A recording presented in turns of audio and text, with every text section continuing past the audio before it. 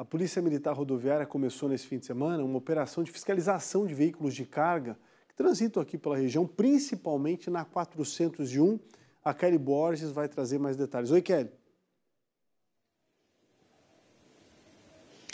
Então, essa operação ganhou o nome de carga pesada, está sendo realizada, na verdade, Polito, começou na quinta-feira passada e vai até o fim deste mês. Eu vou conversar com o coronel Marcos Vinícius para trazer os detalhes. Quando a gente fala de carga pesada, já dá para imaginar que é justamente para fiscalizar se esses veículos estão andando, transitando com a carga ideal para cada veículo. Mas tem mais coisas que vocês estão fiscalizando também, né? Muito boa tarde.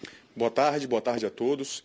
A Polícia Militar Rodoviária realiza essa operação na área da primeira companhia, responsável pelo policiamento rodoviário na Grande Florianópolis, justamente para diminuir a possibilidade de veículos transitarem, veículos pesados, com carga além daquela prevista na legislação. O objetivo, então, é fiscalizar o excesso de peso, mas também o excesso de dimensões. Né?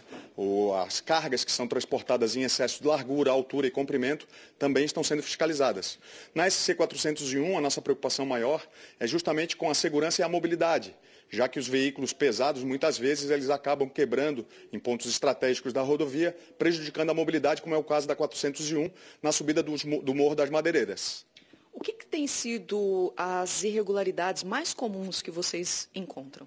É, nós encontramos veículos transitando com excesso de peso e também com excesso de dimensão. Nós temos aqui alguns casos em Santa Catarina, inclusive, que pessoas perderam a vida por conta dos caminhoneiros transitando e transportando contêineres sem serem clipados e fixados na carroceria do caminhão. E na SC 401 nós temos aqui situações, por exemplo, né, de é, caminhões bitoneiras, por exemplo, transitando com excesso de peso, muitas vezes não, não só comprometendo a segurança, mas também a mobilidade, já que no Morro das Madeireiras, esses veículos eles diminuem muito a velocidade máxima deles por conta do excesso de peso, eles não conseguem acelerar o que deveriam e causam congestionamentos, causando prejuízos a toda a sociedade catarinense. Quando o senhor fala dessa amarração, porque existem regras específicas, né, que esses motoristas eles precisam transportar essa carga aí de forma ideal, mas normalmente é o que vocês não encontram. Muitas vezes eles burlam essas regras para poder fixar essas cargas. Isso. É, a carga ela deve ser devidamente acondicionada, né, dependendo da condição e da característica da carga, se é uma carga granel ou se é uma carga indivisível, e ela deve ser devidamente fixada, dependendo do tipo de carga, a exigência ela varia, com cintas, por exemplo, de fixação.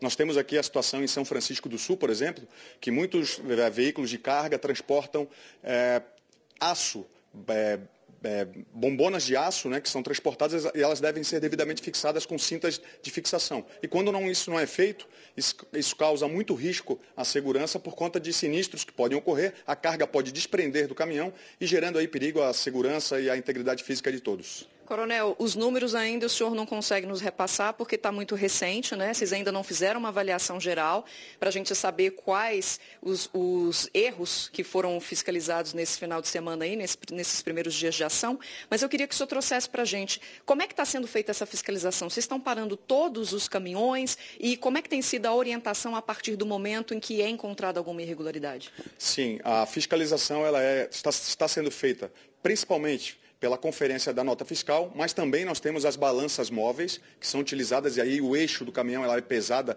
cada eixo, e dependendo da composição, ela, a legislação ela permite uma carga máxima permitida por eixo, e também a fiscalização por nota fiscal.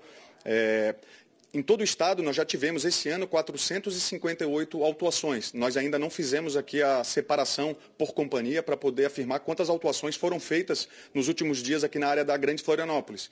Mas é possível afirmar, pela nossa experiência, que muitos veículos transportam com excesso de carga. E nesses casos, o veículo tem que ser retido para que a carga seja feita a transbordo da carga para um outro veículo, que aí a empresa ela tem a responsabilidade de fazer o transbordo, sob pena do veículo ser removido ao pátio conveniado e aí então o veículo fica re removido e não pode mais circular até que a, o problema seja solucionado. Agradeço as informações aqui ao vivo no Balanço Geral. Polito, então, essa operação carga pesada acontecendo na SC 401 até o final do mês.